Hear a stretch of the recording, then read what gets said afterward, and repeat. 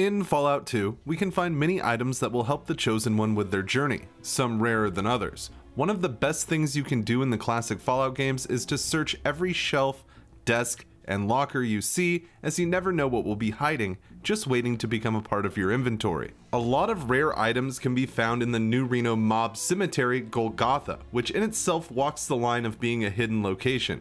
Someone could play through all of Fallout 2 and never see the site show up on their map, as it has to be discovered through dialogue that can be missed. Once we make our way to Golgotha, searching one of the graves will turn up one of the coolest items in Fallout 2, the Mirrored Shades. The item description reads, this is a pair of fashionable and deadly looking mirrored shades. Just having them in your inventory makes you feel cool. The gravesite is one of two places we can find these sunglasses in game, the other being in the inventory of Mason, New Reno crime boss Louis Salvatore's right hand man. Putting the shades in one of your active slots will boost your charisma by one, making the glasses the only non consumable item in the game to do so.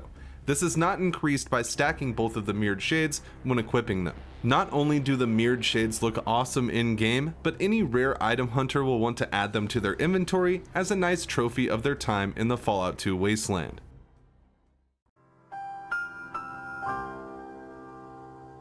What did you just say to me? Cause you sure as hell got my attention now.